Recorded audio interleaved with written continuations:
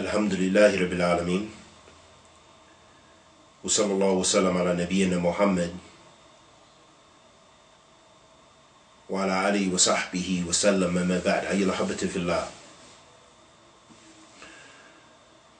Allah subhanahu wa ta'ala has commanded us to be one ummah, not to divide, and that this collective jama'ah should be striving together, not opposing one another. That the duty of the mu'min is to worship Allah subhanahu wa ta'ala alone. Allah subhanahu wa ta'ala says في كتابه الكريم وما خلقت الجن والإنس إلا ليعبدون I have not created mankind and the jinn except for the purpose of worshiping me. And that this collective duty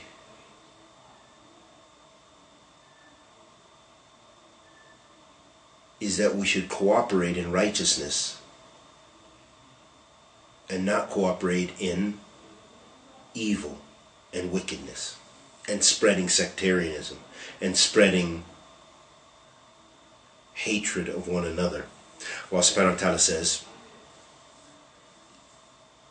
وَتَعَوَنَ عَلَى بِرِّ وَتَقْوَى وَلَا تَعَوَنَ عَلَى إِثْمِ وَالْعُدْوَانِ That Allah subhanahu wa ta'ala says, and cooperate all of you together. تَعَوَنَ عَلَى بِرِّ وَتَقْوَى Cooperate in righteousness and God fearfulness.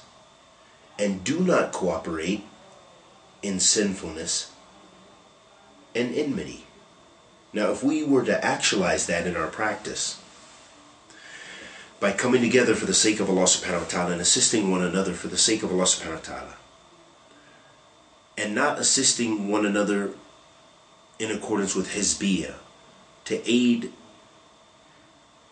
hatred and partisanship, to say that we've established a sect of Shia here, and we're going to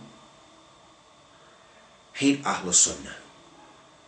We're going to oppose the Sunnah of the Messenger of Allah based upon either our racial background, our nationality, or our false beliefs that are very zahir, very apparent, that they don't go in accordance with Kitabillah wa Sunnah Rasul sallallahu alaihi wasallam.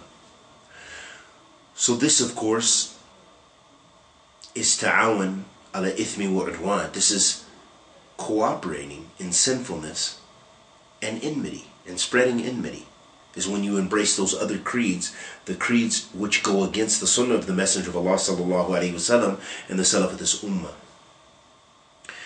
And I want to just briefly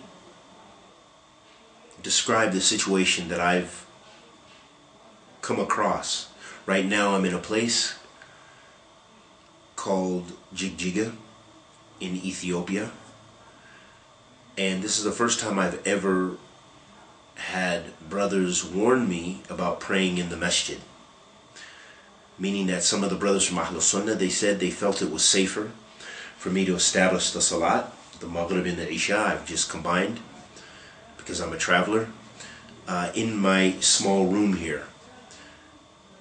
And they did this because of the situation here in which Jamaat al-Ahbash, which is a Sufi sect, uh, has assistance with the leadership here and that they not only spy but that they uh, that it can cause harm for Ahl Sunnah sometimes by being outward in your religion. Even just from dress and appearance that they associate that with terrorism or associate adhering to the sunnah of the messenger of Allah sallallahu alaihi wasallam with extremism. And due to these factors the brothers in this uh, locality have warned me and said that I should pray in my room so as not to be and of course keep my passport with me and and that I may be visited anyway. So this shows us also the ni'mah ahbatifillah of when you're in a place where you are able to practice your Islam without fear, without look at what our brothers and sisters go through in Yemen and other places of being oppressed, of going through warfare, having fear of going to the masjid that you may be shot, your children may be killed, a roadside bomb may uh, explode in your locality, in the market. So, amen and security is a great blessing from Allah subhanahu wa ta'ala. And this is what Ahl Sunnah we call to. We don't call to the destruction of homes and the destruction of people's wealth and property and lives. But rather we call to the Quran and the Sunnah of the Messenger of Allah wasallam to reform the individual, to reform the society in accordance with the worship of Allah subhanahu wa ta'ala alone. This is the da'wah to Ahl Sunnah. And this is what we call to. But when you have these others who cooperate in ithm and udwan, in sinfulness,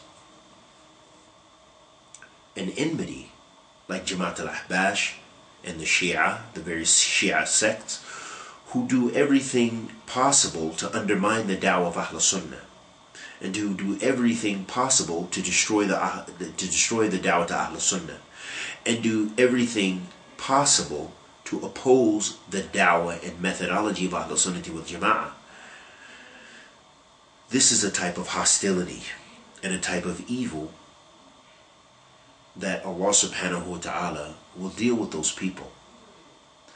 But at the same time, brothers and sisters, we should have knowledge of these things and we should adhere to the kitab and the sunnah of the message of Allah sallallahu alayhi wasallam and cooperate in righteousness. And we ask Allah the Almighty to accept our good and forgive our evil. وصلى الله وسلم على نبينا محمد وعلى آله وصحبه وسلم